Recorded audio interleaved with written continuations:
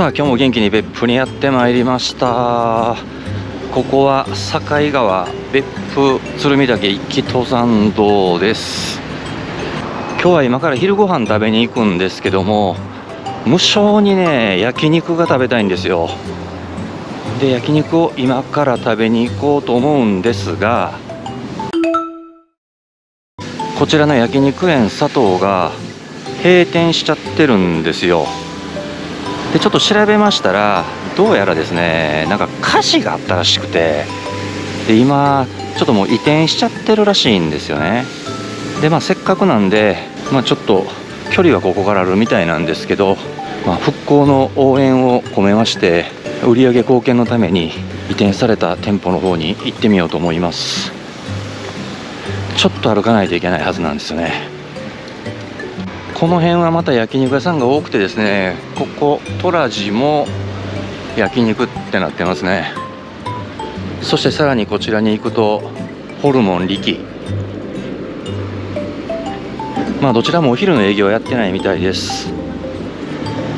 さあそして現れたのはもう千ヶ浜温泉なんですけどちょっとねもうめちゃくちゃ暑いんでね温泉入ろうっていうなんかそういう気分じゃないんですよね。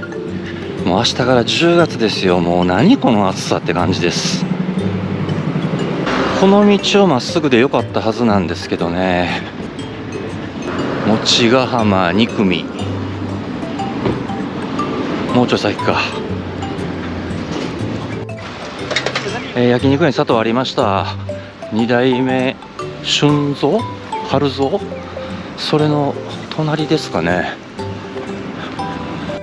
えーと今オープンしたみたいなんですがどうやらねこの2階に曲がりされてるんじゃないかなと思うんですよね。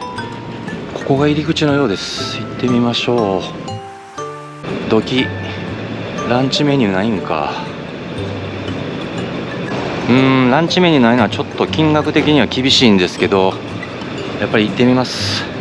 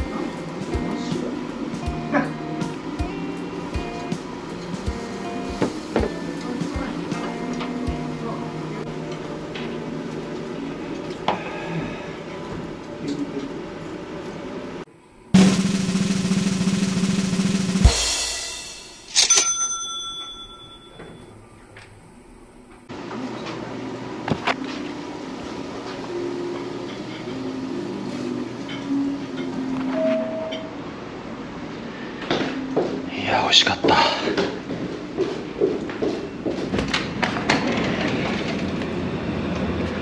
ランチメニューがあったらもうちょっとお得に食べることできたんですけどね。まあちょっと使っちゃった感じはしますけど美味しかったですよ。えー再び旧店舗の方に戻ってきたんですけどなんか来年新店舗がオープンするっていう風になんか書いてあったんですよね。多分ねそれがねこれやと思うんですよ。今新築してるやつはそうじゃないのかなと思います。ちょっと見に行ってみます。さあさっき見えてた現場がここなんですけど全然違いました。これマンションかなんかですね。全然違いました。